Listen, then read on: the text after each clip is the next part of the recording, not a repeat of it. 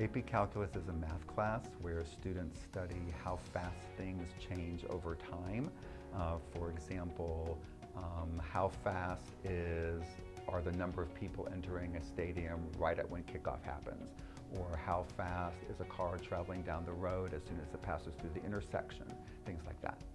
If you're coming into AP Calculus, then it's, like I said, it's not terribly hard. Mr. Frenzel's a great teacher, but if you're coming to do it, do it well and do it right. So.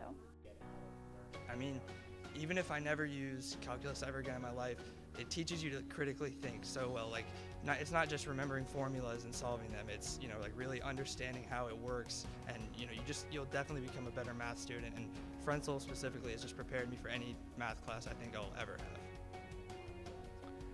So any student who wants to go further into math or science subjects, like if they want to go into engineering or chemistry, medicine, anything that's math or science based, they need a calculus class, at least one calculus class in college.